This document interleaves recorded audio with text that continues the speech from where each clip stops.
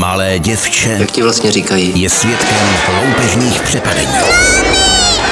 Naštěstí má kouzelnou lahvičku, která jí splní jedno přání. Nese štěstí. Ona od ďábla. Diavolo. A pak se naplní dávná věštba. Menší peněz, než jeden groš už není a po svý smrti, pane, propadneš peklu.